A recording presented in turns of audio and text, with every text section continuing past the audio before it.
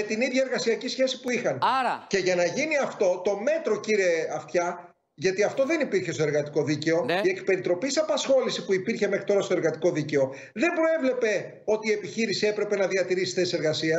Αυτό είναι επιπρόσθετο που κάνουμε. Δηλαδή, τι λέει η κυβέρνηση, επιχειρηματία, κράτησε τους εργαζόμενους, η κρίση θα τελειώσει. Σε στηρίζουμε με ειδικά μέτρα. Σωστό. Για να έχει το δικαίωμα να αξιοποιήσεις τα ευνοϊκά μέτρα που σου δίνουμε, θα κρατήσεις τις θέσεις εργασίας. Αυτό δεν υπήρχε. Είναι καινούριο.